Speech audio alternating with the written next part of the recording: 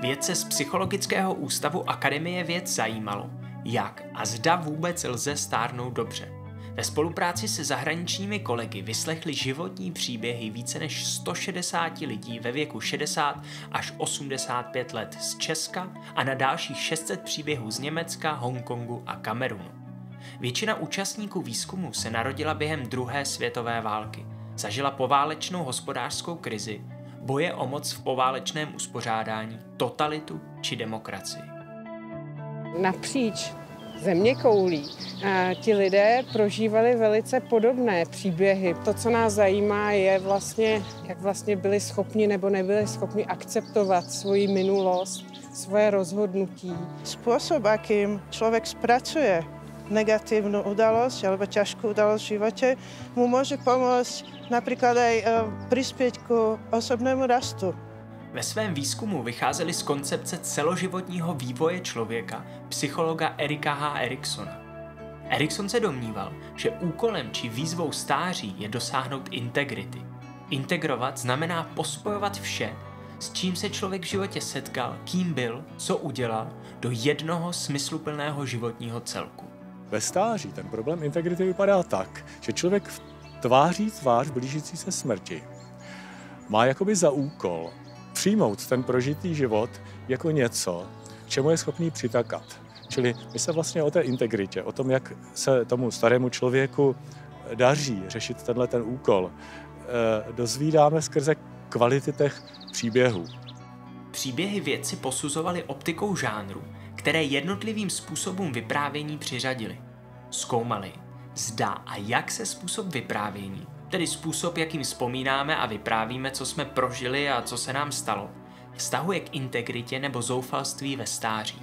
Jsou žánry jako třeba tragédie, komedie, hrdinské vyprávění. Kdybych to měl ilustrovat příkladem, jednou jsem takhle šel po ránu a potkal jsem dvě staré paní, jak venčej pejsky. A jedna z nich, zrovna když jsem šel kolem nich, tak šlápla teda s promínutím do toho psího výkalu. A říká něco jako, to je strašný, už zase. A ta druhá říká, kde pak? To musíme brát pozitivně, to bude štěstí po celý den. Ano, a tady máme v takové miniatuře vlastně to, že ty dvě paní žijou různý žánry. Jo? Jedna z nich žije tak trošičku tragédie, všechno hrotí, všechno je strašný. A ta druhá žije spíš takovou, mohli bychom říct, komedii. Ano, v tom dobrým slova smyslu. Jeden takový žánr, jak lidé stvárnují pomocí příběhu, to zdařilé stáří, je žánr, který mu se dá říkat heroický. To znamená, to je člověk, kterému se tak nějak dobře žije ve stáří, tím, že jeho hlavní figura, to jeho příběhu je překonávání, zvládání, nenechat se udolat. Jo, je trošičku jako takový ten hrdina. Jo, to je jeden z těch žánrů. Jiný takový žánr je žánr, kterýmu říkáme pracovně přitakání šťastným momentům. Ano, to je člověk, který nad sklenicí, který někdo jiný řekne, že je poloprázdná, tak on si nad ní libuje, že je poloplná. To znamená, to je člověk, který neustále žasne nad tím, že tak jako občas je něco dobrý. Jiný takový žánr, který je velmi takový jakoby efektivní, zvlášť v tom stáří, protože ne každý starý člověk může být hrdina, který všechno zvládne. Ano, ne všechno na stáří je takové, aby tomu člověk mohl jenom šťastně přitakávat a rozplývat se nad tím.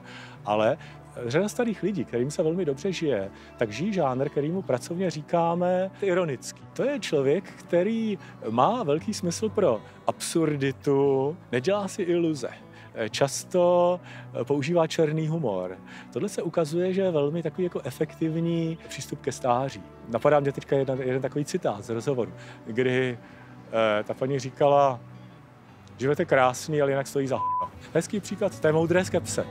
Z vyprávění dále vyplynulo, že přijmout svoji minulost neznamená s ní jenom souhlasit a ničeho nelitovat. Což obzvláště platí pro seniory, kteří prožili část svého života v totalitě. Posttotalitní stáří umožňuje integrovat i ty neúplně lichotivé podoby sebe sama v minulosti.